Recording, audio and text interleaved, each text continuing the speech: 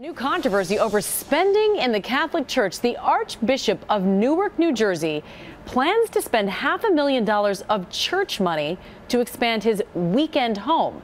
Well, not surprisingly, more than 17,000 parishioners have signed a petition in protest. The question I have for the for the bishop is: uh, Is this the way Christ would have you live, uh, living in a, in a palace?